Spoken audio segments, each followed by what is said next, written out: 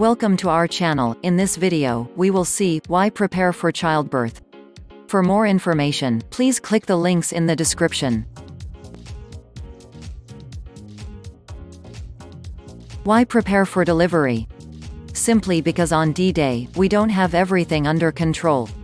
Having a good preparation for childbirth allows less stress during childbirth. Delivering is a crucial step in a woman's life. But it is also an event that raises quite a few questions.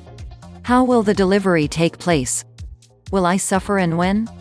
How to control work-related pain? And my baby in all of this, how will he experience childbirth? So many stress-generating questions.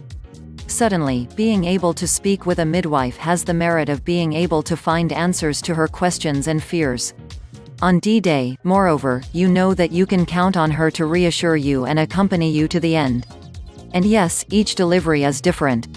Even if you have followed childbirth preparation sessions for your first child and you tell yourself that it is therefore useless to follow them for the second, beware, the reasoning is not necessarily the right one.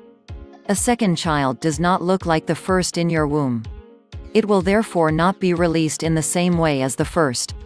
And then, we can also forget between two births. Suddenly, a small or several catch-up sessions are necessary. Because preparing for childbirth remains for most pregnant women as obvious. However, after childbirth, other questions may arise such as becoming a mother, how to counter baby blues or even breastfeeding or carrying the baby. On all these points, the help of a midwife is once again very precious. Preparing with her before giving birth also allows you to better manage the aftermath by addressing points that bother you. For nine months, you will gain weight, feel tired, anticipate the birth of your child and manage the rest of the daily life. Suffice to say that there will be few moments for you. So, preparing for childbirth is also a way to take time for yourself, to take a break from this busy daily life. Most often, childbirth preparation sessions are done in groups.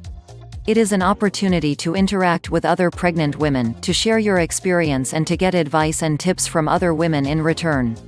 And why not make new friends while preparing for childbirth? Because beyond the traditional preparation, there are different types of preparation for childbirth. Pool preparation, prenatal singing, hypnonatal, haptonomy, prenatal yoga, sophrology, acupuncture, fascia therapy, Bonapace method, it's up to you to choose the method that suits you. Preparing for childbirth thus becomes an opportunity to discover new specialized techniques and share them with those around you. Thank you for watching, you can watch more videos by clicking the links in the description.